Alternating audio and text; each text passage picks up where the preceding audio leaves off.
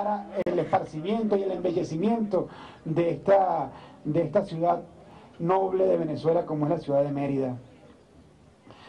Eh, adicionalmente también se han asignado recursos del teleférico como parte del, del proyecto de punto y círculo para las comunidades que, se, que son impactadas por el teleférico, porque se benefician del teleférico. Hemos asignado recursos para recuperar el comedor de la escuela más grande de Mérida, que es la escuela Rafael Antonio Godoy, en la parroquia Domingo Peña. Este es el comedor, como está actualmente. Aquí tenemos una gráfica de la escuela.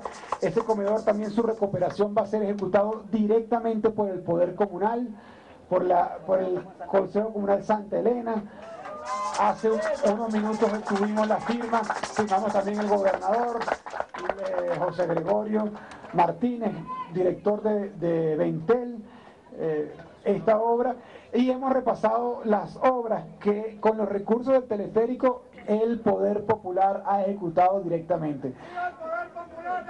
¡Que viva el Poder Popular! de la Revolución Bolivariana y de Chávez y de Nicolás Maduro. Fíjese, eh, parte de las obras tienen que ver con el bulevar que antecede aquí a la, a la plaza. Fue un bulevar también recuperado por el Poder Popular, ejecutado los recursos directamente por el Poder Popular. Muy importante, eh, fue una obra en su momento que representó la, la, la mayor cantidad de recursos asignados directamente a una, a un consejo comunal para la ejecución de una obra civil. Así estaba deteriorado el bulevar que le pertenece a la alcaldía de Mérida, pero que en realidad le pertenece al pueblo de Mérida y, el, y que cuenta con algunos revolucionarios para dejarlo así, miren, bien bonito.